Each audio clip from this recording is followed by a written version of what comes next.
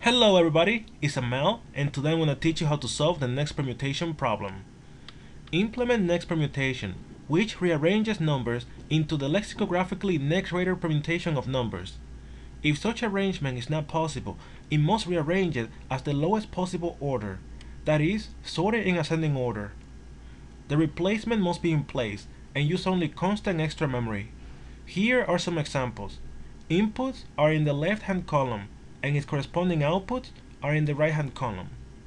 So if the given permutation is 1, 2, 3, the next permutation is 1, 3, 2. If the given permutation is 3, 2, 1, this is the biggest possible permutation for these three elements. So the next permutation is 1, 2, 3. You return the smallest possible permutation because for the biggest possible permutation there's no next permutation. If the given permutation is 115, the next permutation is 151. So, how can we solve this problem? As you know, a permutation is a rearrangement of elements.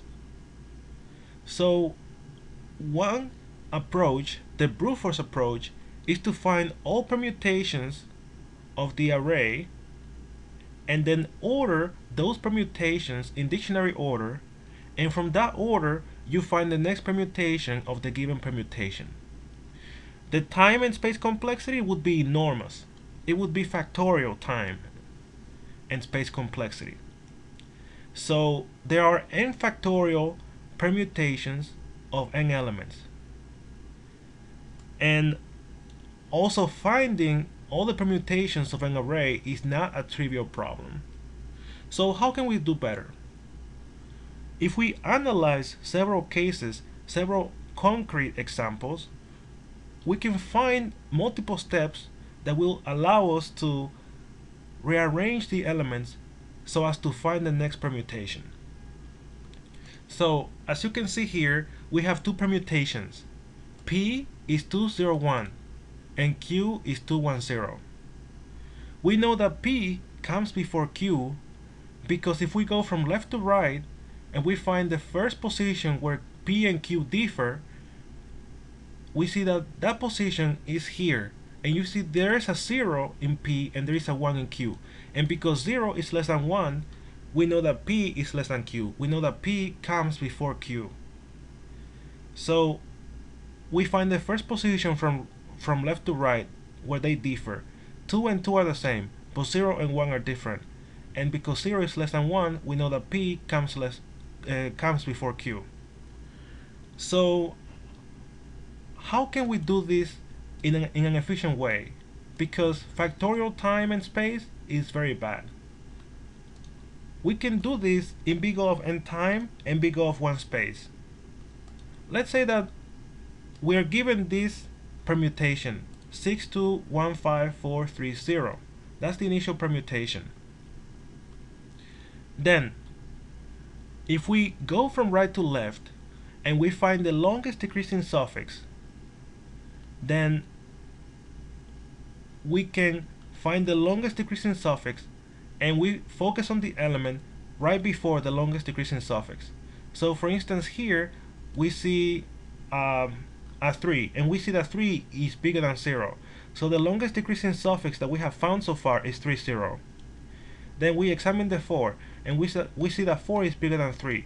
So the longest decreasing suffix that we have seen so far is 430. And then we examine the 5. We see that 5 is bigger than 4. So the longest decreasing suffix that we have seen so far is 5430. And then when we get here, we examine the 1. And we see that 1 is less than 5. So we are done. We know that the longest decreasing suffix in the entire in the entire permutation is 5430 and this element before the longest decreasing suffix is 1 and we can say that this element is a position k. So now we have this permutation divided into two parts. The first part is the prefix. The second part is the suffix. So we want to fix the prefix and also fix the, the suffix to get the next permutation we want to fix the prefix. We need to find the smallest prefix that is bigger than this prefix. Because we want to modify the permutation. We want to increase the permutation by as little as possible. Similar to an odometer in a car that increases by as little as possible, but in this case we can only reorder the elements in order to increase the elements. So we need to find a way to reorder the elements so as to increase the elements by as little as possible, to increase the permutation by as little as possible.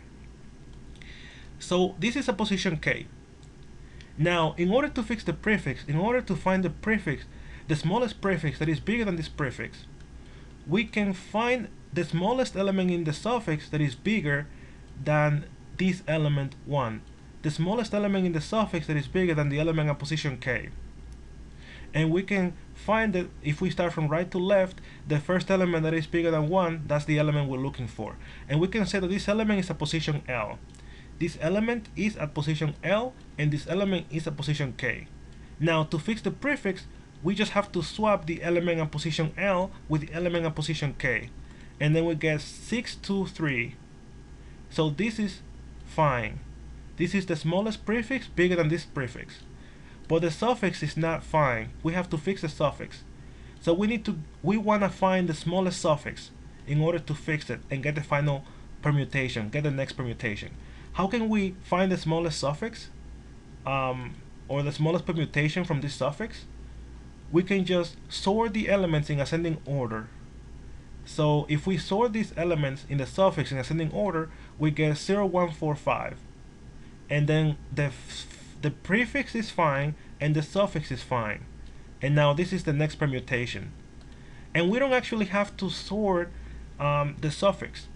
If we reverse the suffix, then this is going to have the same effect as sorting the suffix in ascending order because all the elements in all the elements in the suffix are in decreasing order so if we reverse the elements we're going to get all the elements sorted in ascending order so that's the main algorithm without further ado I'm going to show you how to write the code.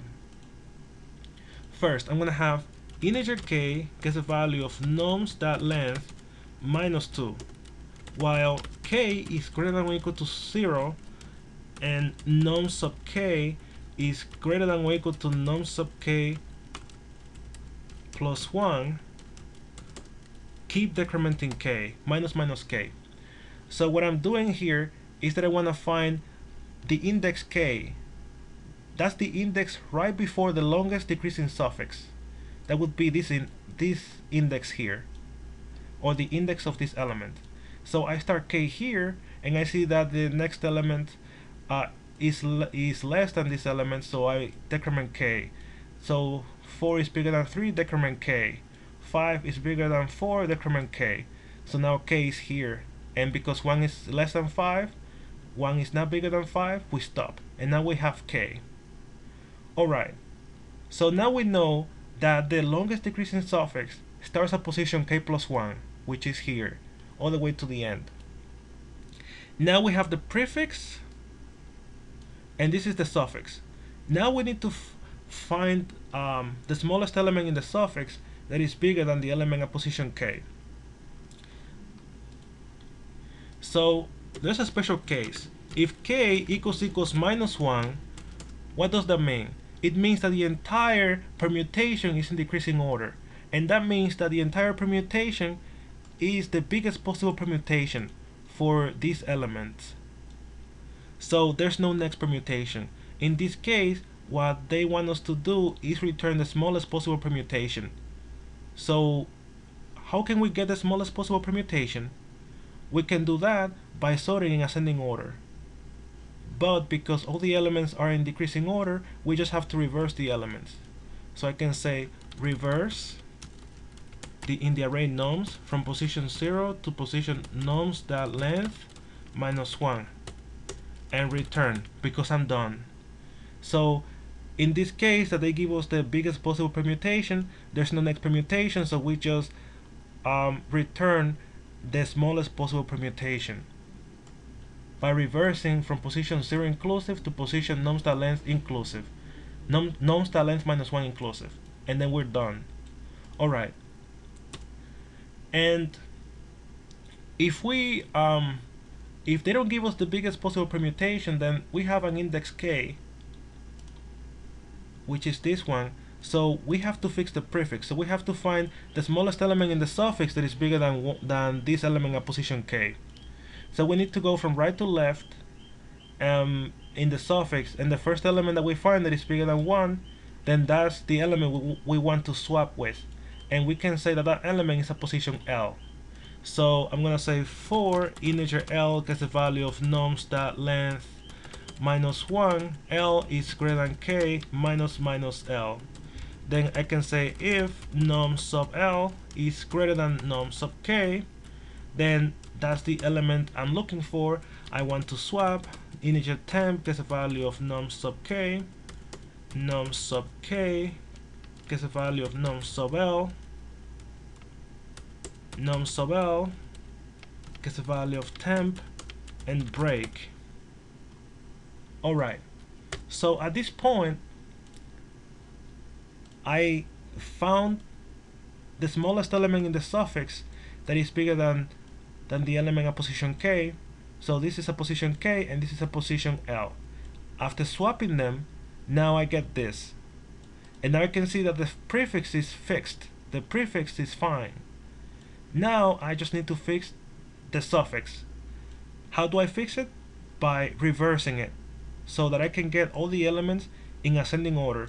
So that's going to give me the smallest possible permutation for the suffix. And then this is going to be the next permutation. So now I just have to reverse the suffix.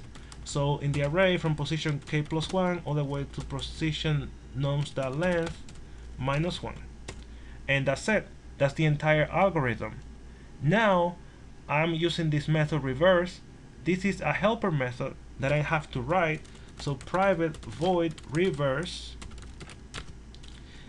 in the array of integer nums from start inclusive to end inclusive.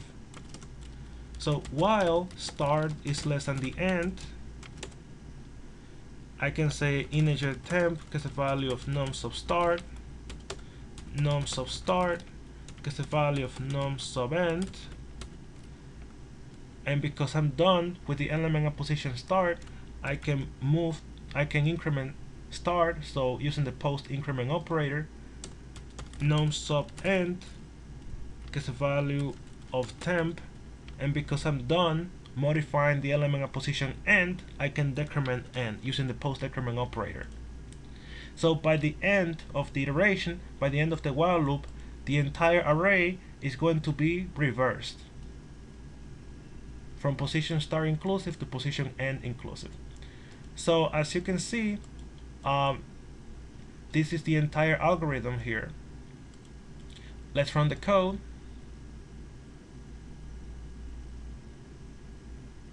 Alright, it seems to be working fine. I'm gonna submit a solution. This is working perfectly. So as you can see, this is a very efficient solution. The time complexity is big O of n, where n is the length of the array nums. The space complexity is constant, big O of 1, because we are only using a few extra variables.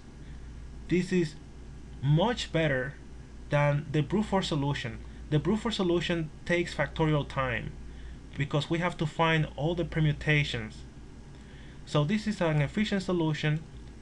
You can see how we can you can see how we were able to arrive at this solution by analyzing a, a case, an example. So if you like the video, please press the like button. Don't forget to subscribe and see you next time.